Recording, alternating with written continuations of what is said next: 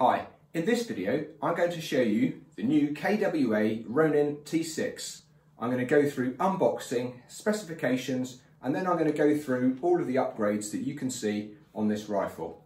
Watch this video to find out more.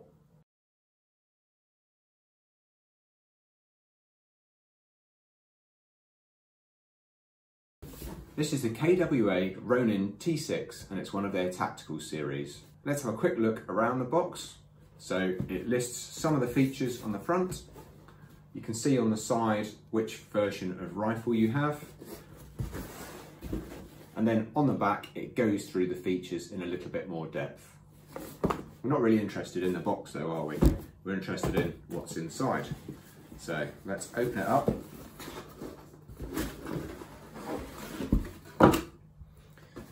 So it comes in packaged. Um, it's got foam inserts, so it's going to be sort of safe while it's traveling to you.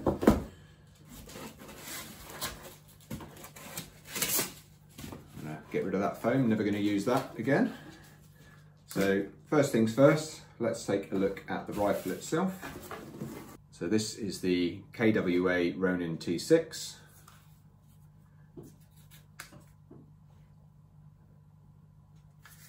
As you can see, it's a PDW style rifle, ambidextrous safety. Trigger, it's got a normal AR style trigger and a knurled pistol grip as well. So that feels like that's gonna be quite good, especially if you've got wet hands. It's got a slight flaring on the magazine well. I don't know if you can see that on the camera. It has a small Picatinny on the bottom of the handguard. Control wise, we've got the standard magazine release catch, safety catch I've mentioned, trigger I've mentioned. It's got a fake bolt release, so that bolt release literally does nothing. It's also got a forward assist, again, that's just there for decoration. And it's got a standard AR style charging handle, which opens up the dust cover when you pull it back. Looking inside, you've got the airsoft sort of pretend bolt. So when you move the working parts to the rear, or what would be working parts to the rear, that reveals the hop-up system. So you have a little rotary hop-up in there. Let that go forward and then close the dust cover. So the rear of the rifle, we've got an extendable stock. So to extend the stock, you just pull it and it's good to go. It's got a number of different settings on there. If I press it and push it in, that's the second position. And then the third position is fully stowed. The actual rods themselves are made out of metal and the buttstock pad is plastic. Also, this has got a plastic battery compartment uh, and a plastic lid. That's something I'm not quite happy with about this rifle. It's a great rifle, don't get me wrong, um, but if I was to change anything on it, I would have a metal battery compartment on there and perhaps a different style battery compartment lid. Let's take a look at some of the specifications of the rifle itself. The length retracted is 21.75 inches. The length extended is 26.5 inches. It's 10.5 centimeters high. The outer barrel is 6.75 inches long and the inner barrel is 7.25 inches long. The magazine capacity, these are 30 or 120 round magazines. This is the brand new muzzle brake on the KWA Ronin. It's heavyweight, it's metal, and it actually looks pretty cool. The fore end has universal M-LOK fitments so that you can add plenty of accessories. It's also a monolithic style, so it's a single piece design. With a sleek tactical cut, it should stand out from its competitors in the field.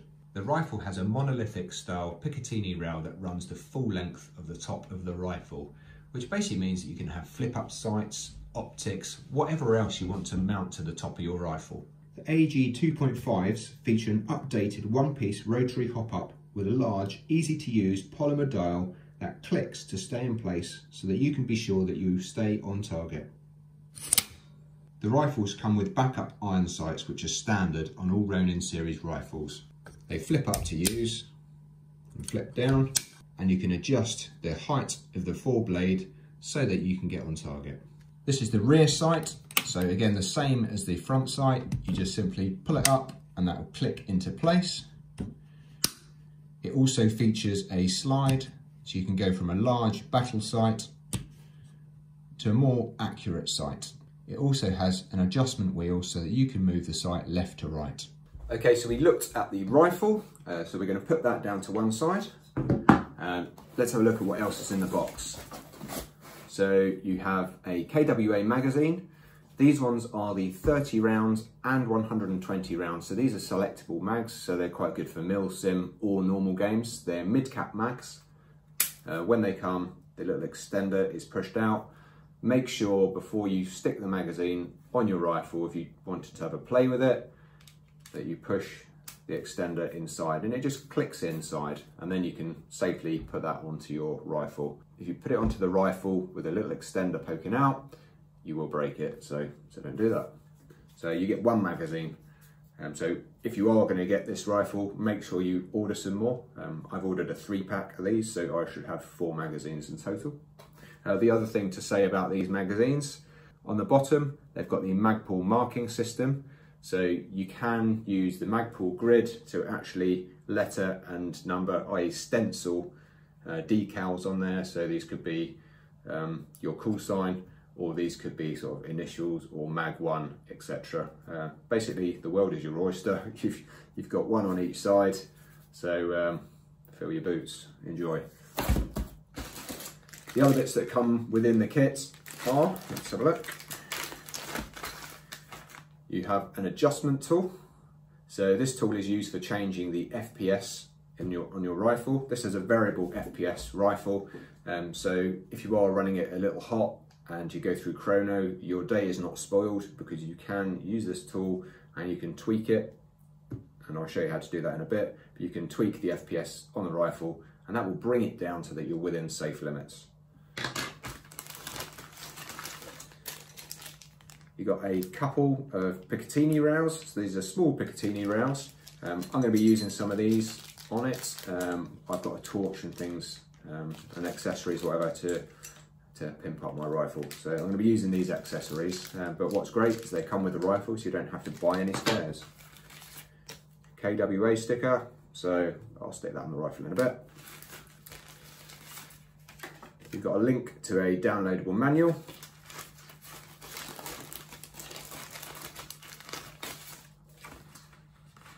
KWA warranty. So again, read that and then you'll know what you're covered for and what you're not covered for. Um, and you have the instruction manual. And on the back, there's a parts diagram as well. So if anything does break throughout its life, you can actually identify what part it is and hopefully order the right bit. But as with all of my videos and all of my gear, what I would say is read the instruction manual. Read it.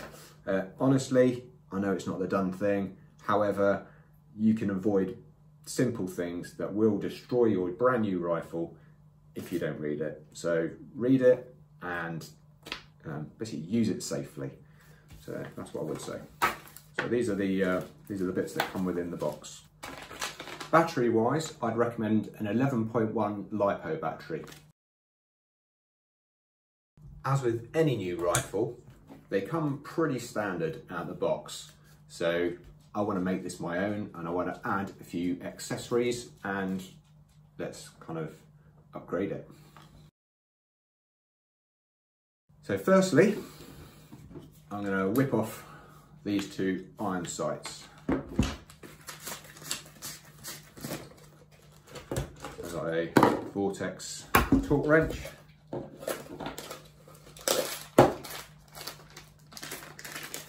Just going to get the screwdriver blade out that in there. So let's remove the front sight.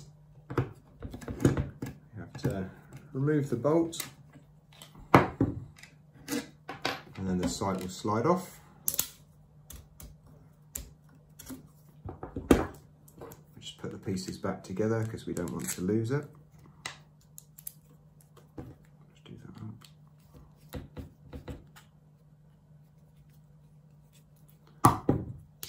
I'll that back in the box. We get the rear sight. Same again, take the bolt out, it should slide back.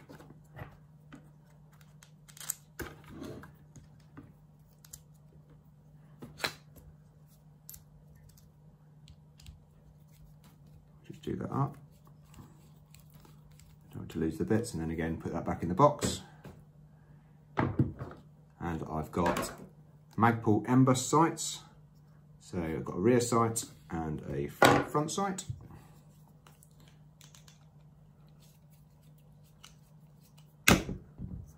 loosen off the bolt, same as before, slide it on, I have to move the charging handle.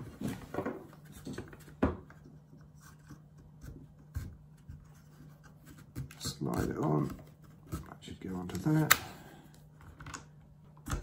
Fit the bolt. When you put the rear sight on, put your finger over the nut and then on the other side, just screw it in so it's nice and tight It's not going to go anywhere. That's one. And then we do the same for the front sight. So just loosen the bolt. So slide it on. It's quite tight, so it's a good rail. And then put the bolt in.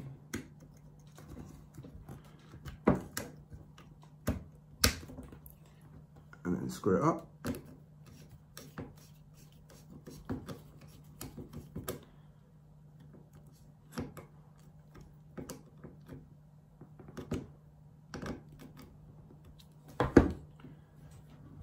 So that's fitted front sights and these you just press to extend them.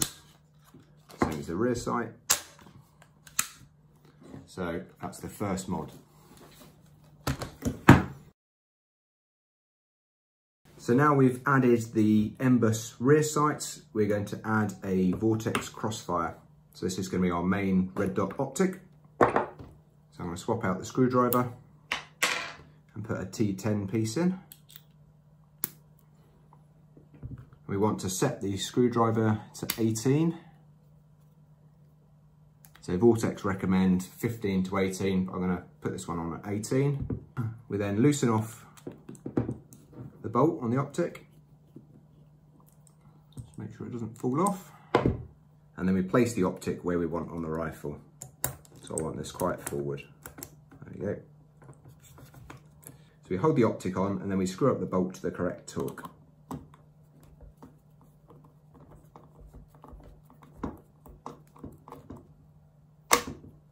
So now we've got the MBUS sights and the Vortex Crossfire fitted. Great thing about these is they are lower one third co-witness.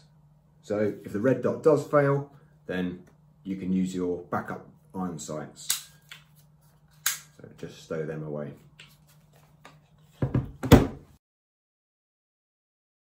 We all know there's a lot of indoor matches and CQB with airsoft, uh, so we're now going to mount on my flashlight. So for this, I need to add one of the new Picatinny rails. So I've set my torque wrench to 15 inch pounds. Apply a slight bit of pressure and then torque to the correct setting. And then the same with the front. So that's fitted the Picatinny rail on nice.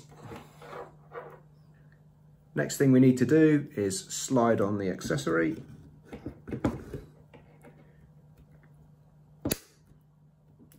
that in place. Then I'm gonna need to fit a little bit of Velcro along the top, just so that I can fit my pressure switch. I've got some Velcro backing, so I'm just gonna peel that off and stick that on the top Picatinny rail. Push it down. And then the pressure switch fits nicely on top. I like to be able to see where my BBs are going, so I'm going to be using tracer green BBs. So to make the tracer work, I've got an AceTech Brighter C. Let's open up this tracer unit.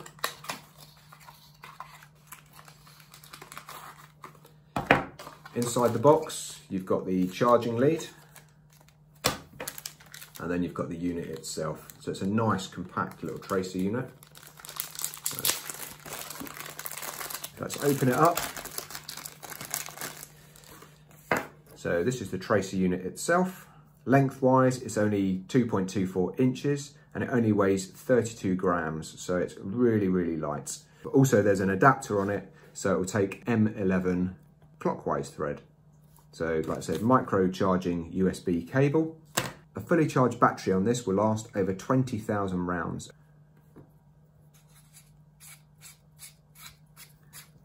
Quick look inside. So this is the charging port. So that's where you'd charge it up.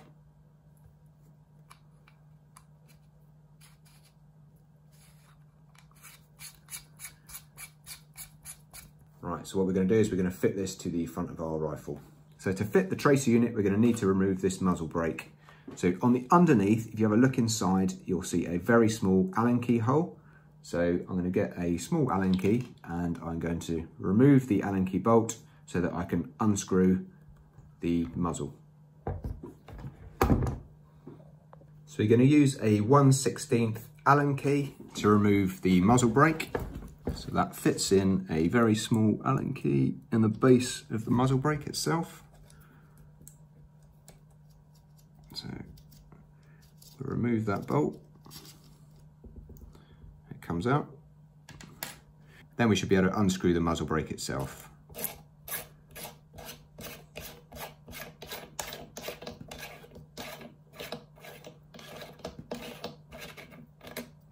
Yep, so that comes off. We're going to put the little bolt back into the muzzle brake because we don't want to lose that. There you go. And pop that back in the box. We haven't quite finished what we're doing. We're going to add a small handle onto the front Picatinny rail. So this one locks on. It's not an expensive one, which is why it's still a little bit wobbly at the moment. But what I'm going to do is I'm going to tighten it up to 15 inch pounds that will hold it in place.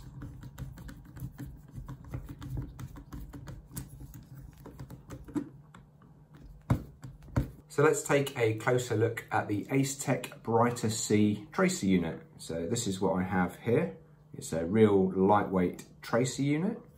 So the way it operates is you unscrew the cap on the front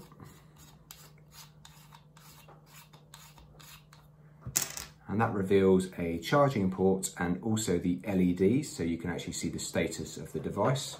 It comes with a micro USB charging cable so you plug simply plug that into any USB socket and charge it up. The manual recommends that you give it a good first charge so leave it charging for three hours for the first time to ensure best performance of the battery. To power on the unit you just shake it and then it'll give a beep and you'll see the green LED is flashing. If you leave the unit idle, i.e. you put your rifle down for five minutes, it will then go into sleep mode and then it will return back to standby when there's any vibration. If you want to power it off, you need a device. Uh, this is a Sandy Park pencil. Um, any other pencil will do, but obviously uh, needs to be a rugby pencil surely. So to power this off, you can use a stick or a pen. Uh, needs a diameter of 10 millimeters at least. Um, the idea is you put it inside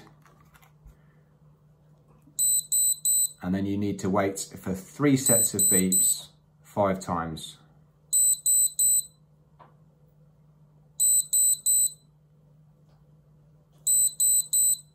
And then remove it and that powers down the unit. There you go, so nothing on there. The LED has three different breathing light sort of processes. When it's red, that indicates it's under 30%. Orange is between 30 and 60, and green is between 80 and 99% charged. When installing the device, you need to make sure that your screw thread is less than 10 millimeters. Otherwise, the barrel will cover the sensor of the unit, causing a malfunction.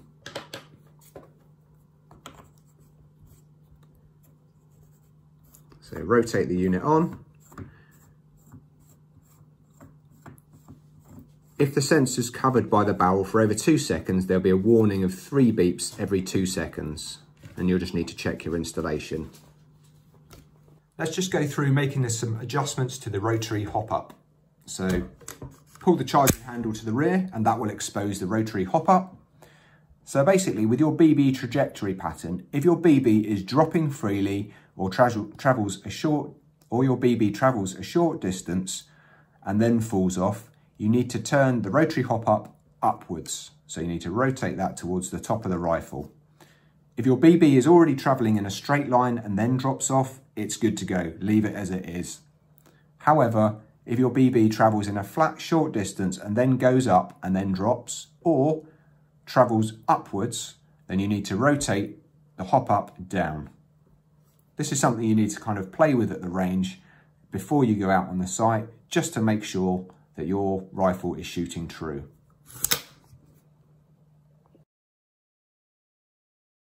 So now we've got our KWA Ronin T6 upgraded with the parts and accessories that I wanted to. I'm now going to go through how you prepare the rifle for firing. So first things first, we need to remove the buttstock. So we press down on the catch and then pull the buttstock and it should come all the way off. Next, we can open up the battery compartment and just remove that. And then we take out the cables just really carefully. So before you do anything, you need to check the wiring. So make sure the wires are pushed all the way into the connectors. Sometimes they can push out. Also check the fuse. So look at the fuse, make sure that you can still see the loop and that it's not blown. Try to avoid bending the wires excessively as this could affect performance and may damage the wiring on the inside. So this is the battery we're going to be using. It's an 11.1 volt, 1100 milliamp hour LiPo battery. It's got two connectors. It's got a balancing connector that you use when you're charging, and then it's got the female part of the Tamiya socket. So to connect that up, simply line up the square and the round holes, and then push them together. I always hold the cables at the back and push it in, and then it should click. You should see that there's a, like a little tiny catch that will keep the battery in place. To fit the battery, we push it into the base of the battery compartment, about halfway, and then we tuck very carefully the cables in. Make sure they're out of the way. And then we replace the cap. So there's got a longer bit on the end of the cap. We'll just want to make sure that that's not going to interfere with any of the cables when you push it in there. So that should clip and that will stay on there. Probably what I will do um, is I'm probably going to put a bit of electrical tape around it just to try to make that compartment a little bit more watertight and also reduce the risk of this connector coming off. So then we get our buttstock, line it up with the holes and then push it on. We need to depress the button and push it all the way in and then that is our battery fitted.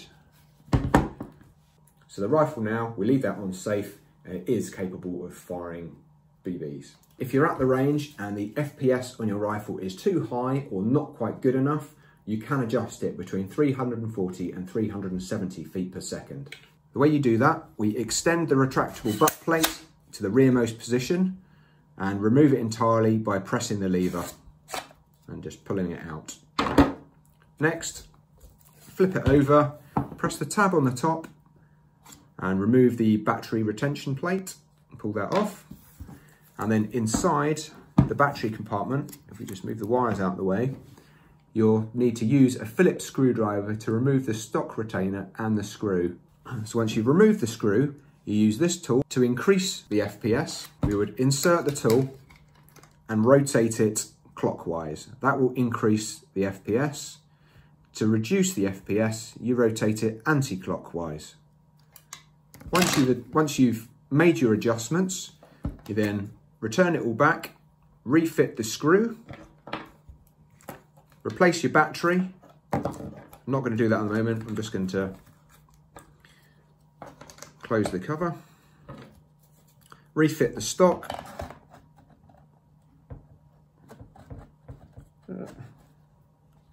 depress the button and the stock should slide all the way in. And then once you've got it all back together again, go back to the chrono and recheck.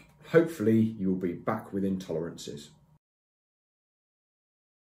Once we've got the rifle ready to fire, we need to load up our magazines with some BBs. So these are 6mm ammo. I'm using 0.28s for this one. And these are green tracer, so they should shine up really well with my, uh, with my tracer unit. This is a mid-cap magazine, so to load the BBs in here, you can't, there's no way of pouring them in. You have to use a speed loader. So open up the speed loader.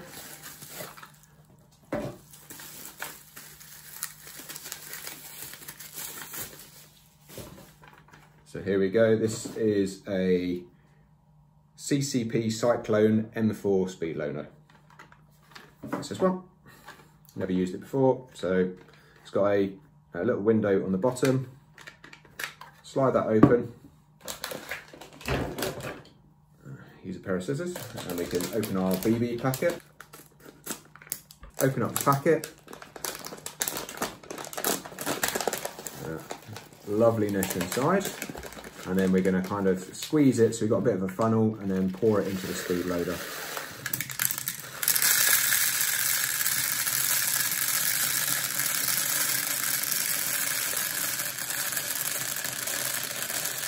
And you think it's treats, don't you? It's not, it's BB.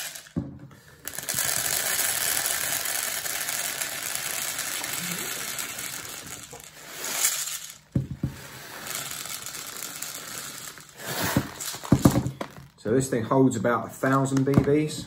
So, how many left in the pack there? There's 2,000 in this bag, so it holds well over a thousand BBs. I know you think it's a treat, don't you? But it's not. They're BBs. Not exciting as you think. Right. So make sure, ow, that hurts. Make sure we close the compartment And then we move the handle out of the way and then we fit the magazine. So there's a little connector in the bottom, that's where the BBs come out. And there's a connector on the top of the magazine. So we just line those two up. It fits together. What do you want? You want some BBs?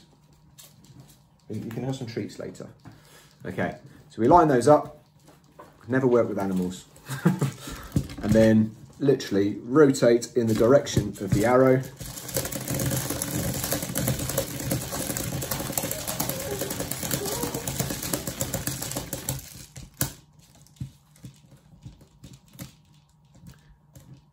until it stops. Turn it back over. And there you go, you can see that this is loaded up with BBs. So there should be 120 BBs within this magazine.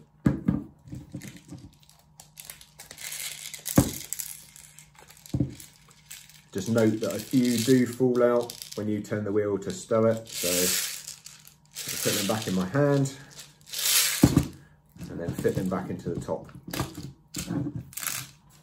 They all cost money, so we need to make sure they're all back in there. So that's the magazine fully charged and good to go. So I've now got my KWA Ronin T6 all set up and ready to go. Let's have a look and see how accurate it is and also let's kind of have a bit of a gauge of the rate of fire. So to prepare it for firing, magazine, it's on safe, give it a shake and then that switches on the Brighter C tracer unit. Okay, so to get some distance, um, I'm down the end of my hallway and I'm shooting into the garden. So I've set up like a little target down the bottom of the garden and once I've taken a few shots, we'll go down and we'll have a look and see how it's performing. I'm going to be shooting off the top of the chair just so that you can kind of see the grouping that this Ronin T6 can do. I can shoot standing, but more accurate off the top of a barricade. So let's see what single fire looks like.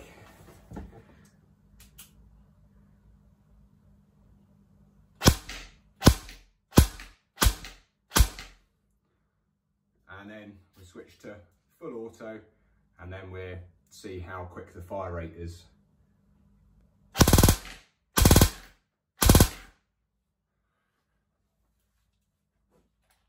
happy with that. Let's go down and have a look at the target.